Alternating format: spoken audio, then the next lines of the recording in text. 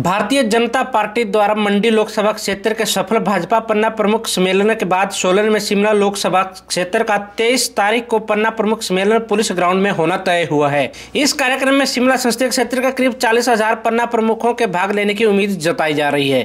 इस सम्मेलन को सफल बनाने के लिए भाजपा सोलन मंडल की बैठक भाजपा मंडल अध्यक्ष रविंद्र परिहार की अध्यक्षता में हुई। बैठक में खादी ग्राम उद्योग के चेयरमैन पुरुषोत्तम गुलेरिया व भाजपा नेता डॉक्टर राजेश कश्यप विशेष रूप से उपस्थित रहे।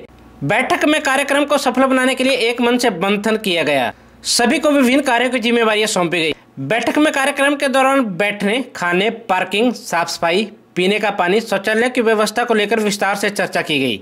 बैठक की अध्यक्षता करते हुए भाजपा प्रदेश प्रवक्ता शशि दत्त ने बताया कि सोलन में तेईस तारीख को होने जा रहे भाजपा पन्ना प्रमुख सम्मेलन की तैयारियों को लेकर सोलन में बैठक की गई।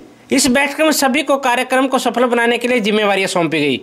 उन्होंने बताया कि भारतीय जनता पार्टी का उद्देश्य 2019 के चुनावों में लोकसभा की चारों सीटों पर कब्जा करना है, जिसके लिए भाजपा अभी से तैयारियों में जुट गई है। भारतीय जनता पार्टी का कंसेप्ट है कि भारतीय जनता पार्टी अपने कार्यकर्ताओं के दम पर आने वाले लोकसभा चुनाव में उतरेगी और 2019 में चार बटा चार सीटें जीतेगी। इसी कड़ी में सोलन में भारतीय जनता पार्टी का पन्ना प्रमुख सम्मेलन 23 दिसंबर को पुलिस ग्राउंड में होना निश्चित हुआ है। इसमें जो शिमला लोकसभा क्षेत्र है, उस शिमला लोकसभा क्षेत्र के लगभग चालीस हज़ार पन्ना प्रमुख भाग लेंगे।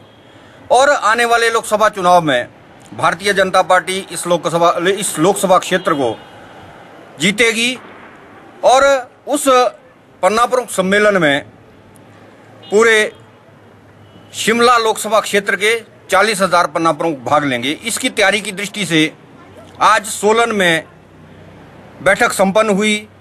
इस बैठक में तय किया गया कि जो 23 तारीख का पन्ना प्रमुख सम्मेलन सोलन में होने जा रहा है, उस सम्मेलन में किस तरह से व्यवस्था करनी है, किस तरह से गाड़ियों की व्यवस्था होनी है और बाकी सारी व्यवस्थाओं को सुनिश्चित करने के लिए और इस कार्यक्रम को सफल करने के लिए हम आज बैठे थे और उसमें सारी जिम्मेवारियाँ दी गई है।